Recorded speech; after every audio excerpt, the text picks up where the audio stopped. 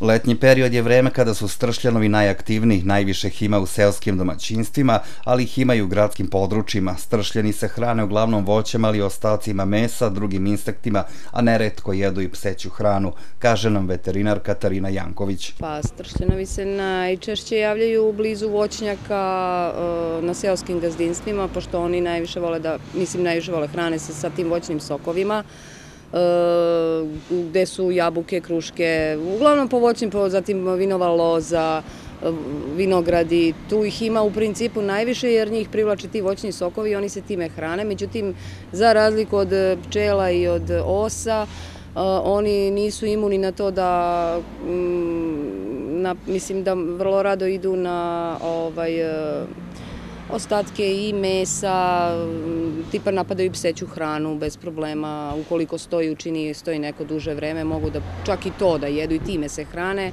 Oni su kao neka vrsta svaštojeda samo u insektnom obliku. E, za njih je još najzanimljivo to što oni nemaju prirodnog neprijatelja, pa prema tome niš, ne, nema ni jedna ptica da se usudi da cakne štršljena, znači da ga pojede. Tako da ovaj, e, borba s njima je ono, ko pobedi pričat će. Ubod stršljena je ozbiljniji od uboda pčele, osa ili nekog drugog insekta. Brzo se javljaju veliki otoci na tom mestu u pratnji jakog bola. Reakcija organizma je nepredvidiva pa može da dođe do burnih alergijskih manifestacija. Najdramatičnija je anafilaktički šok. Mogu više puta da ujedu, znači ne uginjavaju posle uboda kao pčele ili kao e, osice. Ovaj, e, vrlo imaju jak toksin, e, najčešće izazivaju vrlo burnu reakciju kod ljudi ili kod životinja, često, vrlo često i anafilaktički šok, možda i smrt.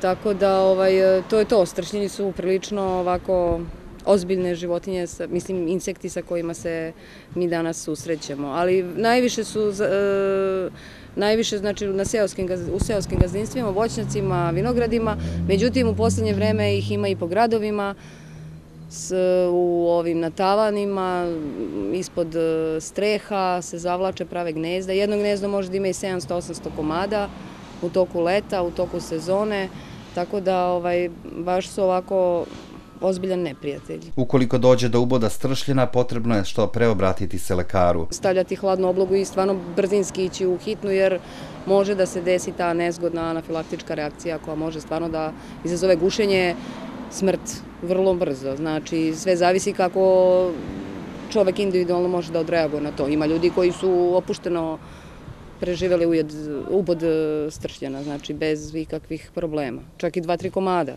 Ja čak i znam neke te ljude ovde u, u Šopiću koji su bili ubodeni i ništa.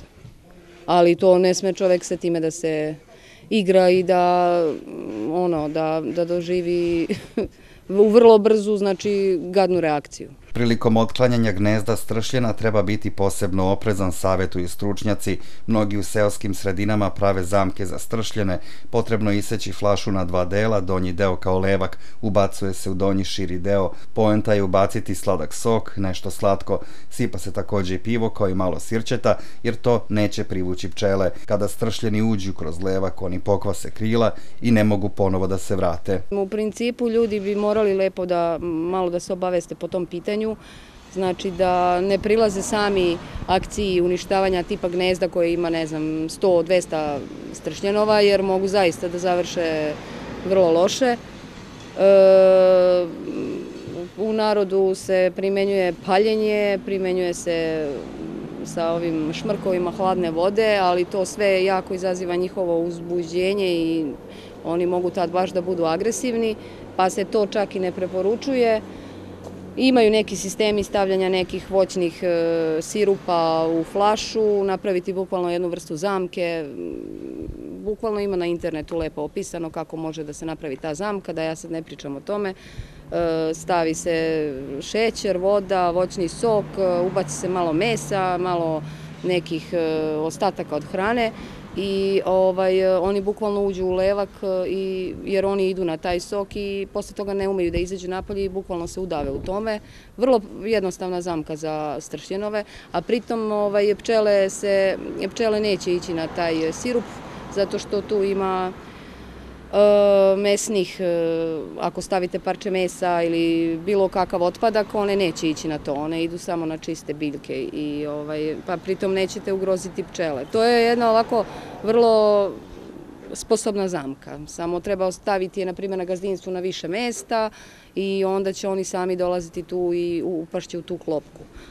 To je onako najjednostavniji način da pritom ne nastrada niko. Znači, a već da se pale ta legla njihova ili te ili da se oni sa jakim šmrkovima rasteruju, to se nije pokazalo kao baš pametan pristup celoj toj priči a najbolje vam je ukoliko imate stvarno problem i ne možete da ga rešite, ima firmi registrovanih, na, izgooglajte i nađite, neko će, mislim, neko može da dođe da to odradi profesionalno.